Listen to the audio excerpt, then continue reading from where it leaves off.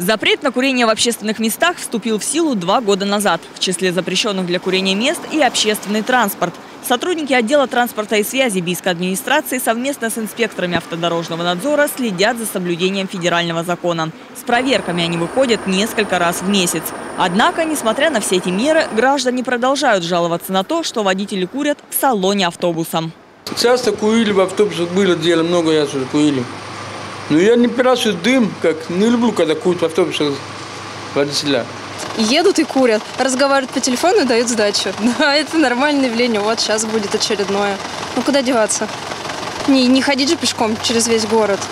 Пренебрегают бичане федеральным законом, несмотря на установленные штрафы. За первое нарушение 500 рублей, за последующие – полторы тысячи. По мировым меркам это немного. Так, в Великобритании штраф за курение в общественном месте составляет две с половиной тысячи фунтов. По сегодняшнему курсу это почти 250 тысяч рублей.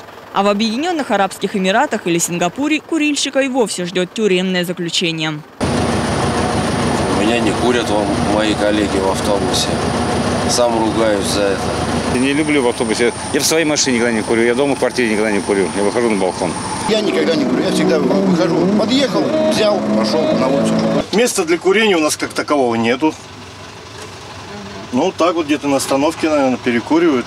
Обычно за один рейд инспекторы автодорожного надзора ловят от двух до пяти нарушителей. Но ситуации бывают разные и порой довольно курьезные.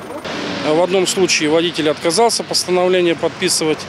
В другом случае, который произошел вчера, водитель совсем убежал из салона транспортного средства, оставив транспортное средство полностью открытым наше подчинение.